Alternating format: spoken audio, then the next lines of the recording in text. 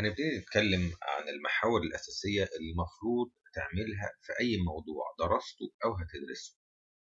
أول حاجة أي مشكلة إحنا بنتكلم فيها لازم يعني إيه تعريف المشكلة يعني إيه أبعادها يعني إيه أسبابها.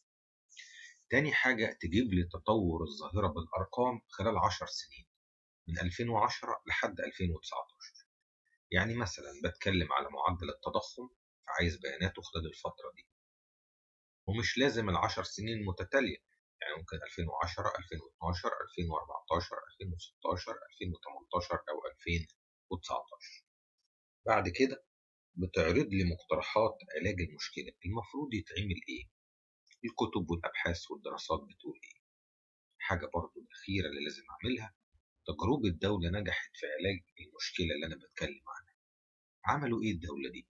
مش لازم بالأرقام والتفاصيل والحفظ. لا أنا عايزك تقول لي السياسات؟ إيه السياسات اللي اتعملت؟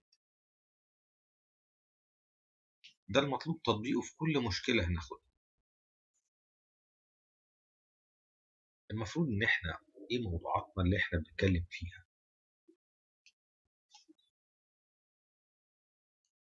المفروض إن إحنا بنتكلم في موضوعات رئيسية. عجز الميزان التجاري وعجز الموازنة العامة التضخم البطالة التنمية البشرية. الموضوعات الرئيسية دي لازم أبقى مغطي فيها النقاط اللي أنا قلتها قبل كده في كل موضوع.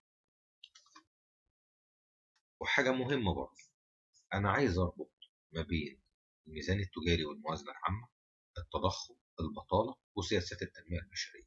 بمعنى أهم عنصرين في التنمية البشرية التعليم والصحة. التعليم مرتبط بالموازنة لأن الإنفاق على التعليم بيمثل جزء من الإنفاق العام وبالتالي الموازنة العامة مرتبطة بالتنمية البشرية. كذلك الإنفاق على الصحة مرتبط بالتنمية البشرية. إذا في علاقة ما بين عجز الموازنة العامة أو الموازنة العامة والتنمية البشرية. في علاقة ما بين التضخم والبطالة ومستوى المعيشة وبالتبعية مستوى المعيشة بيأثر في التنمية البشرية. إذا العلاقة بين المتغيرات أو الموضوعات اللي إحنا بناخدها علاقة متشابكة لازم أبقى فاهم طبيعة الأبعاد ما بينها زي ما درسنا قبل كده في المحاضرات السابقة عن إزاي أحلل المشكلة إزاي أعرف أسبابها إزاي أقترح حلول لمواجهتها.